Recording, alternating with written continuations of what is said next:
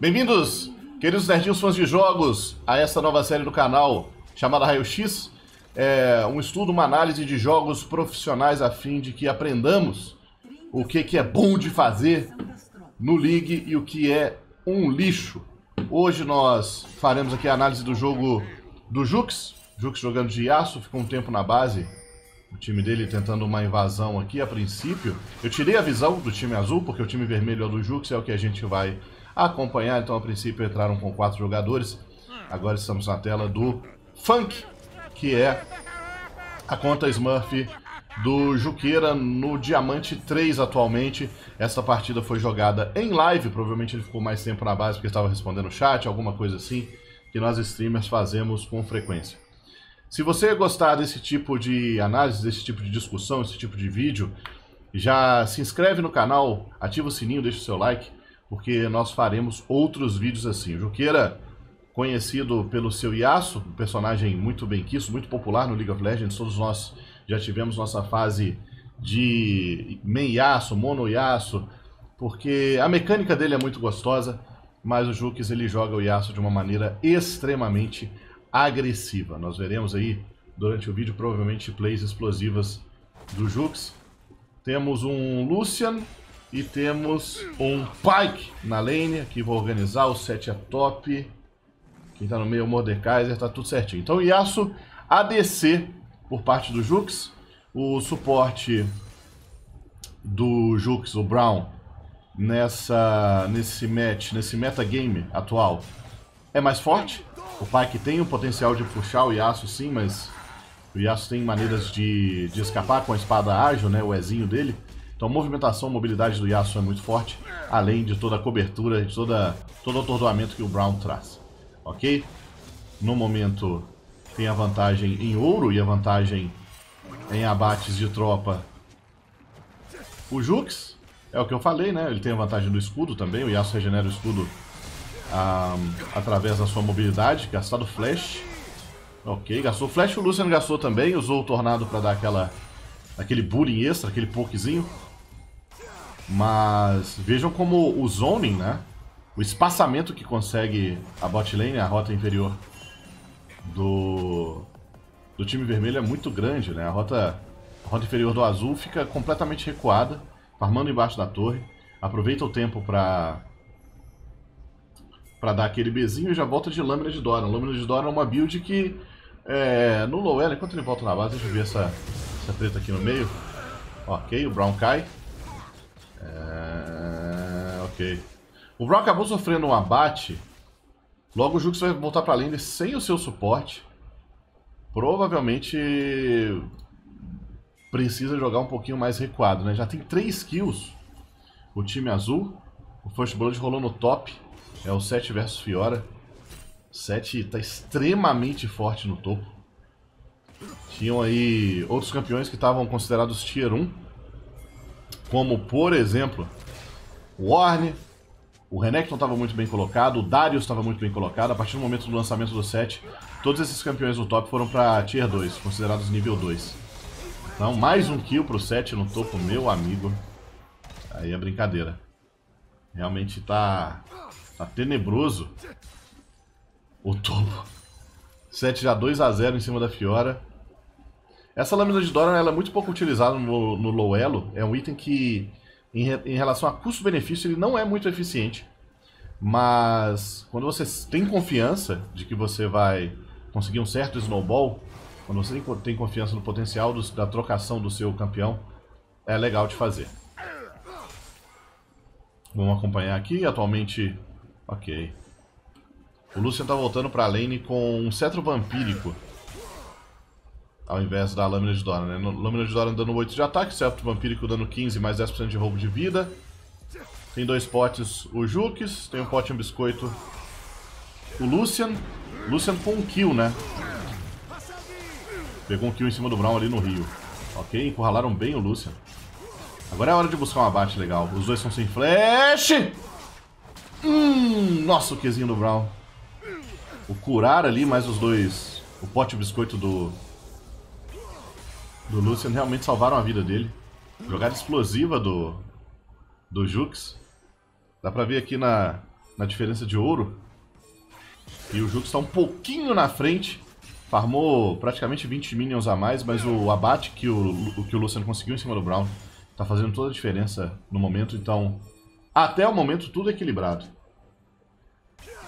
Tem, tem dragão na rota. Provavelmente os times vão começar a garantir prioridade. A dar um pouco de chove nessa lane, empurrar até debaixo da torre.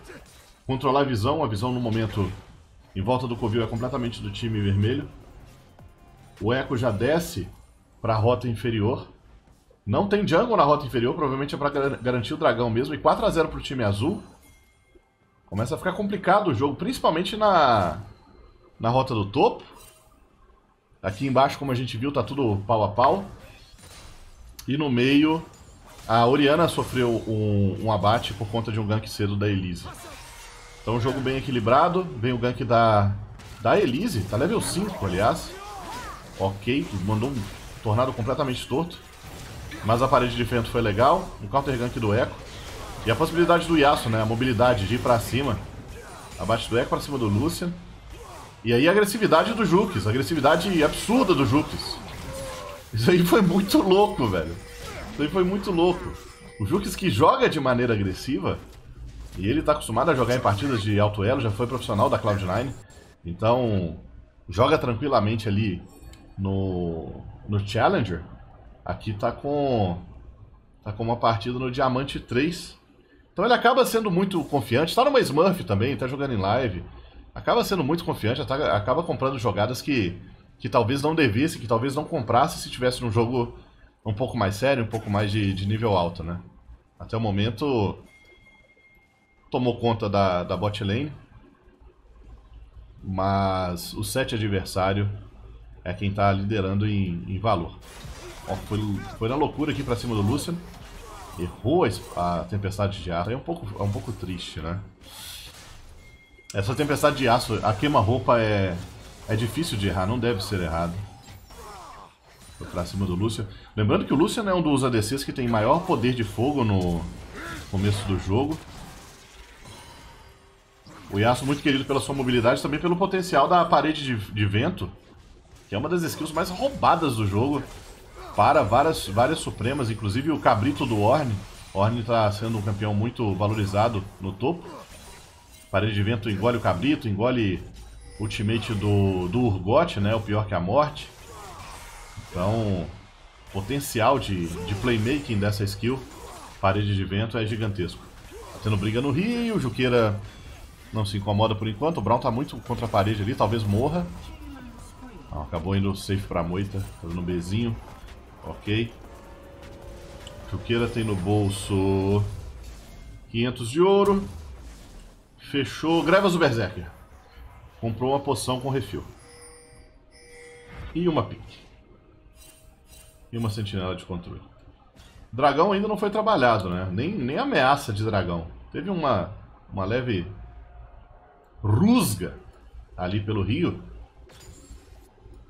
A Oriana morre de novo com o gank da Elise. Elise jogando bem, rotacionando bem. O Echo tá mais preocupado em farmar. Se bem que a Elise também tá em, em vantagem em relação de farm.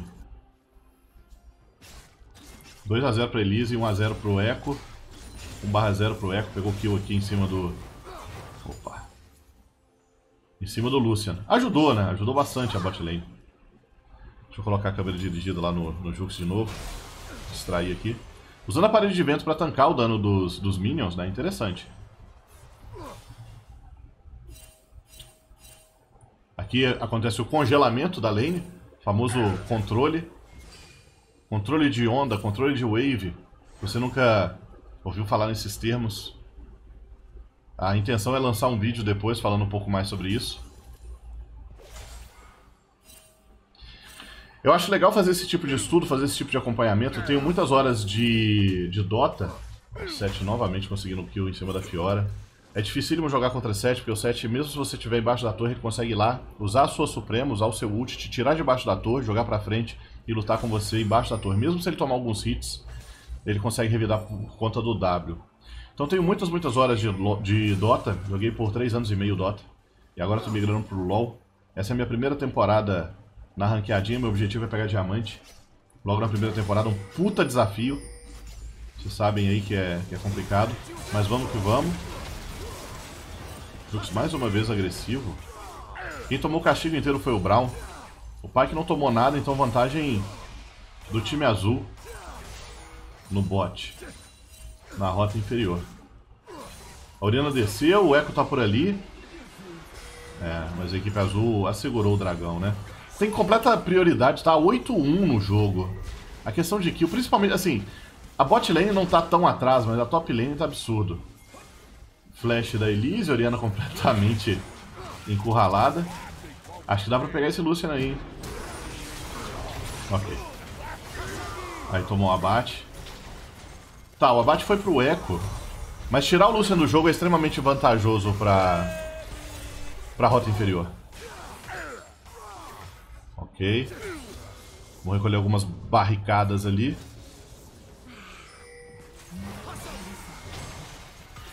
Barricadas que no meta atual estão com um valor absurdo. Errou o Tornado. Ok, puxado. A mobilidade do Yasuo pagando, né? Que isso, cara? Ok. Opa! Ultimate pra baixo da torre. E aí a Elise faz o que sabe fazer melhor. Rapelzinho. Extremamente agressivo, Jux. Extremamente agressivo. É o Yasuo que a galera já conhece. Ele que não poupa a chance de conseguir um abate. Mesmo embaixo da torre, dá dive o tempo inteiro. Joga pra frente. E vejam que mesmo tomando 2 kills, ele ainda tá com 99 de farm. Então consegue ser mais eficiente que os, os campeões adversários. De 8 a 1, o score passou para 10 a 5.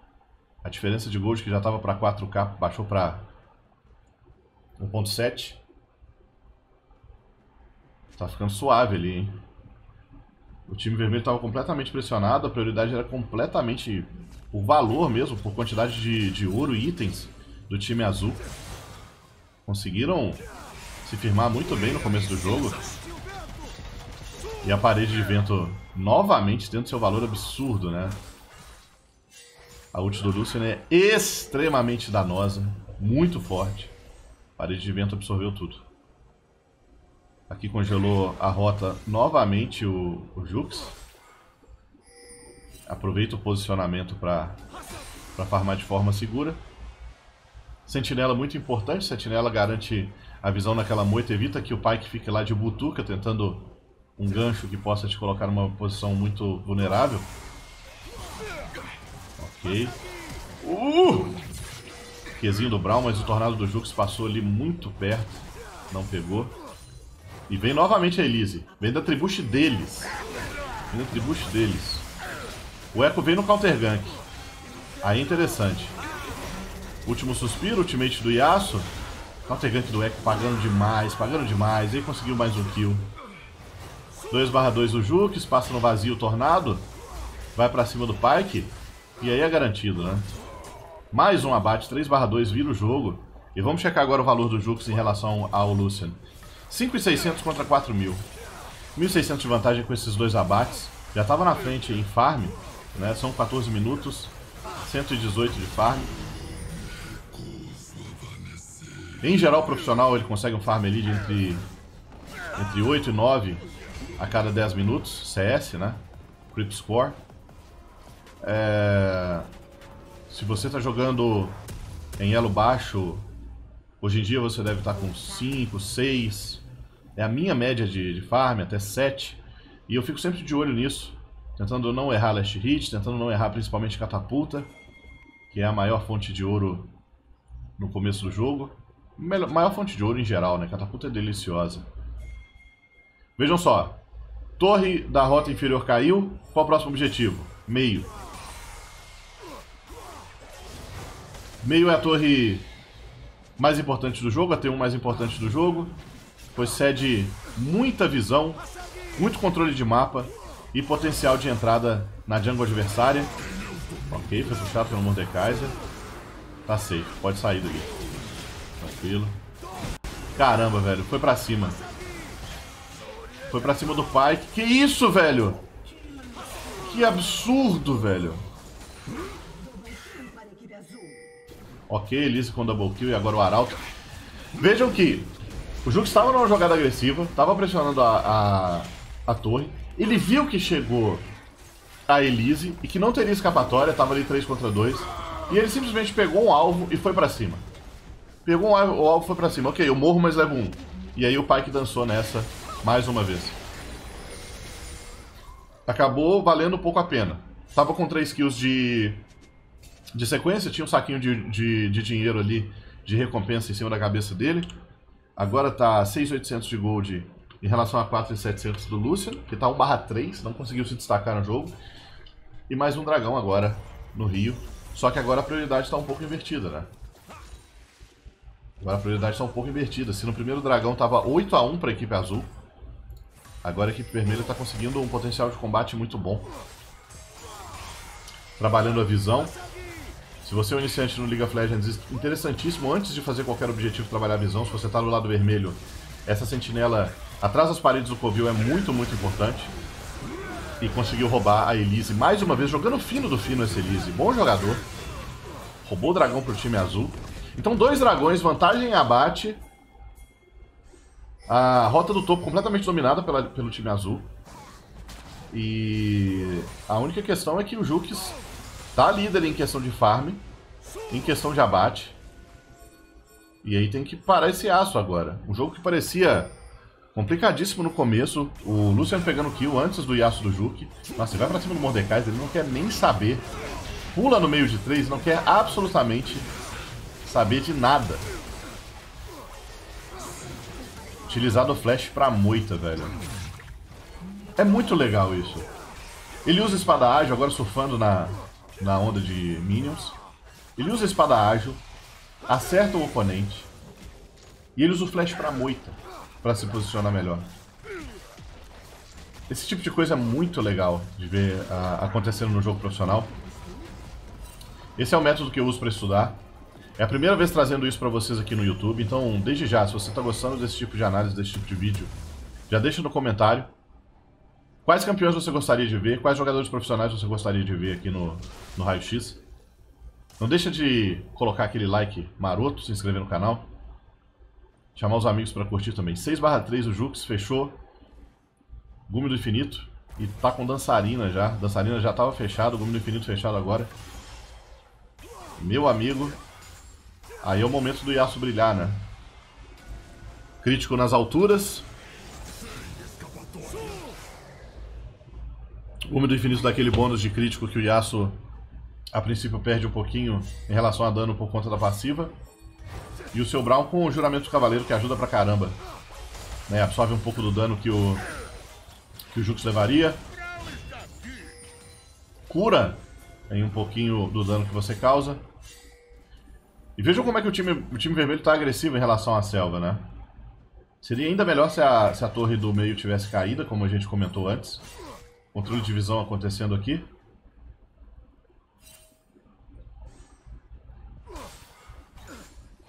E a melhor rota para ser utilizada, na verdade, pelo time vermelho, por conta do posicionamento de visão, é a rota inferior. Mas a rota inferior, ela não, não tem nenhum tipo de objetivo interessante agora. A torre já caiu e não tem dragão. Então eles vêm se movimentando mais pelo lado da rota inferior. Ok, ultimate. Aham. Do 7. Pra cima do Jukes, né? O dano do ultimate do, check, eh, do, do set é proporcional. É, o dano do ultimate do set é proporcional ao life do campeão. Então, se ele tivesse ultado, por exemplo, o Brown, causaria muito mais dano em área. Eu acho que eu, eu tô mais em cima do Yasuo pra, tipo, tirar ele dali. Foi uma ult um pouco desesperada. Não vejo como isso ia ajudar. Não abate nem pra ele, nem pra equipe.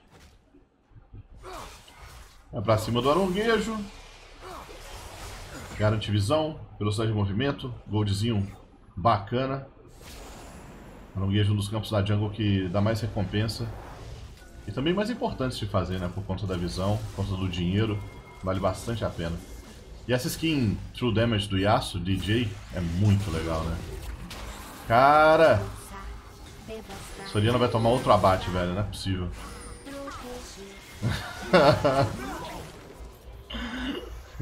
Como é que tá Soriano no jogo? 2 barra 3. Tá um pouco triste. Tá um pouco judiada. Ok. Aí o engage vai em cima do Brown, gasta as habilidades. É. Se você, se você percebeu o que aconteceu agora, é um prato cheio pro Juqueira que já tá um pouco na frente no Que dive louco, peraí. Olha só, velho. Extremamente agressivo. Extremamente agressivo. Não quer saber de absolutamente nada. Caramba, mais um abate pra cima do... Do Pike. Tá com 500 de gold de recompensa. Velho, Juqueira simplesmente não... Não se importa. Simplesmente não tá nem aí. Já deu dois dives no bot, mais um dive no meio. Contra dois, iniciou a briga, saiu lucrando ainda. A maneira como ele joga Yasuo bem agressiva é gostosa de assistir. Visão no Rio sendo trabalhada pelo Brown, provavelmente tem dragão, tem dragão infernal agora. E o time azul até o momento pegou todos, né? Pegou todos. Agora o time vermelho tem um pouquinho de vantagem em relação a Gold. Um jogo bem, bem intenso, né? Um jogo bem intenso, é diferente. Interessante essa jogada. Veja como ele usou a parede de vento antes de entrar na moita. Né? Ele não tinha visão ali. Seria um face check. Face check é, é perigoso, mesmo você tendo aliados perto, né? Está com 500 de gold de recompensa na sua cabeça. É uma interessante jogada do, do Jux. O Yasuo usa a espada pra mudar de, de trilha, ó. Ficar mixando. É, muito louco. E ele sai da base de Moonwalk, saca só. É, skin. muito bom, velho. É gostoso de ver o carinho que a Riot tem com o próprio jogo e a criatividade que eles colocam na, nas skins. Pra cada um ser, tipo, praticamente um, uma atração à parte dentro do jogo, né? Maravilhosa. Ah, fechou bandana de mercúrio, né? Provavelmente para evitar uma, uma ultimate do Mordekaiser. Nós temos ali um pouquinho mais de CC, tem Casulo da. Tem Casulo da Elise, tem um pouquinho de CC do, do Pike, né? Atordoamento, gancho. Mas. Nessa hora do jogo, o Brown foi pego fora de posição. O Jux deu um pezinho pra ele, né? Nesse momento do jogo, Talvez o mais importante fosse evitar realmente a ult do Mordecai. O Mordecai poderia tentar lutar para simplesmente tirá-lo da, tirá das lutas, tirá-lo das partidas. E mesmo que o Mordekaiser morra, ou apenas enrole. Que isso, velho? Foi pra cima do... Que isso, cara? Contra quatro! Extremamente agressivo, extremamente... Meu amigo. Aí, aí... Aí a confiança foi lá na, nas nuvens, né? Aí foi... Que isso, velho. Aí o Jukes na Disney pra cima de um set. Nós sabemos o potencial do set de, de ignorar dano e revidar dano com W. Build ali a, a ousadia, né? Quanto menos life tem, mais ele regenera. Caramba, o Jukes se enfiou no meio de quatro ali. Engraçado a, a escolha dele em relação a, ao feitiço de invocador, né? Exaustão. Então ele realmente tem essa moral de, de perseguir. Quer ir pra cima e trocar. Não tem curar, não tá nem aí pra curar. O curar também te dá velocidade de movimento, né? Seria uma maneira de, de perseguir o seu personagem. É, então é natural que esse aço fique mais low, fique mais, mais baixo em relação à vida. É... Mas curioso, ele usa golpe de misericórdia e não até a morte, né? Até a morte que... Que, que talvez te recompensaria um pouco mais se você ficasse baixo em vida. Enfim. Aqui as runas do Jux, mostrando um pouquinho do Conquistador, dando 700 de dano até agora. O Triunfo, com 516 de vida restaurada. 260 de gold extra. Velocidade de ataque já está em 18%. E 360 de dano causados a campeões com menos de 40% do life. É, o Yasuo não vai ficar tão low assim, né? Mas sei lá. Talvez a escolha dessa runa, Golpe de Misericórdia, é... fosse mais interessante combada com curar.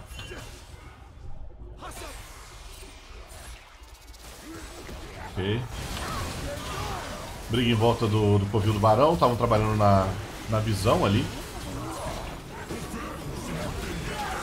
E aí a vantagem é completamente do, do time vermelho, né?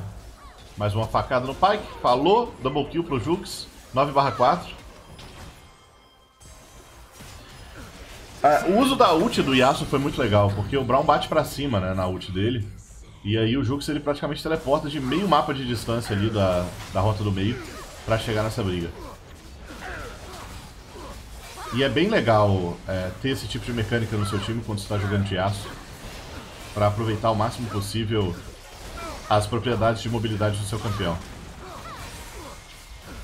A Elisa é quem está liderando ali a ofensiva do time adversário. E quem tá pau a pau em relação a dinheiro e farm é o 7, né? 11 mil de dinheiro, se bem que o Jux já escalou pra caramba, né? 13 mil. 13.400. Então vejam só. É... O time vermelho começou tomando 8 a 1 em questão de abates. Mas o Juque ele conseguiu, mesmo sofrendo dois abates no começo, escalar muito mais rápido que todos os outros conseguiu se recuperar na partida em relação a ouro, em relação a valor. Absurdamente, mesmo se suicidando ali no meio. Mesmo fazendo dives loucos, né? Jogando de maneira extremamente agressiva. O que geralmente não é o que diz o manual, né? Mais briga ali em volta do Red. O Echo tem essa vantagem de, de ter duas brigas, né? Poder ser agressivo porque volta no tempo. Fica mais tranquilo. Mais um dragão para a equipe vermelha. Ok, o 7 está fazendo a linha de frente. É. Aí olha só, como aproveita novamente a ult do Brown pra, pra usar a própria ult, o último suspiro, chegar na briga mais rápido. Já chega arrancando toco, né? É, chega ficando a espada em dois. Conseguiu mais um abate. E aí com três a menos o time vermelho, o time, o time azul tá completamente refém. Provavelmente vai perder torre aqui, vai perder inibidor. No mínimo, vamos dizer, né? 27 minutos. Que jogo gostoso de assistir, velho. Que jogo gostoso de assistir. Um jogo intenso, cara.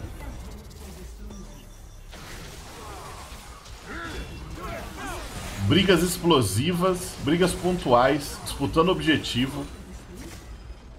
Gostoso de ver. O jogo sendo bastante agressivo.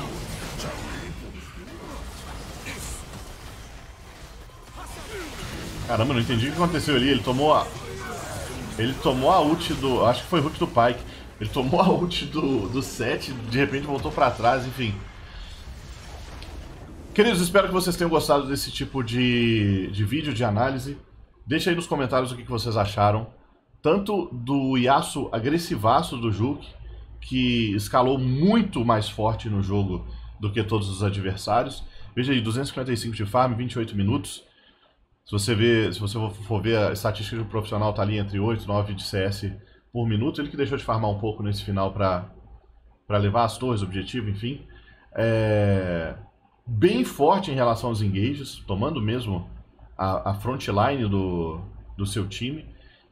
Tem o o cuidado, a proteção do Brown, que é um suporte maravilhoso para salvar a sua vida se você se, se mete em rascadas. Se inscreva no canal se você gostou, deixe seu like. E deixe nos comentários aí quais os jogadores você gostaria de ver aqui é, contemplados pelo raio-x através desse estudo, através dessa maneira que nós achamos e que nós temos de estudar o League of Legends, observarmos o comportamento desses profissionais, as trocas, o posicionamento, e melhorarmos o jogo. Grande beijo, até a próxima.